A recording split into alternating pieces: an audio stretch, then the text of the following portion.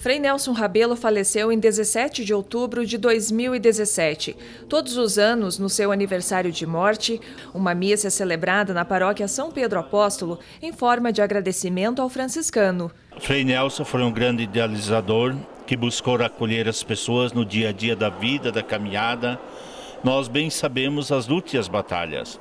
E a cidade que acolhe os, as pessoas feridas e machucadas pelos caminhos, pelas praças, são os bons samaritanos. Suas obras, a preocupação com o próximo, a acolhida com a comunidade. Nós temos essa grande alegria de poder participar de Frei Nelson ser um franciscano que soube acolher, assim como São Francisco de Assis e Santa Clara acolhia com amor e alegria.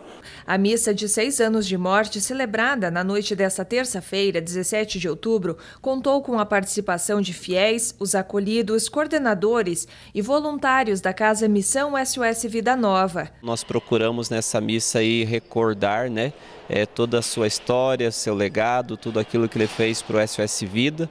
Então viemos aí celebrar, né, com muita alegria e gratidão a Deus por esse exemplo, né, que ele deixou para nós, né. Então com certeza né, ele representa muito para o SOS Vida e a gente não quer deixar esquecer essa chama. Fundador do SOS Vida em 1994, ajudou a acolher e transformar vidas. Quem aqui está dá continuidade à obra do Frei Nelson. Então nós procuramos, enquanto Missão SOS Vida, estar tá sempre buscando aí essa inspiração nesse frade, nesse franciscano que realmente contribui muito né, para que o SOS Vida é, existisse e estivesse de pé. Então quero finalizar aqui com a seguinte frase, né?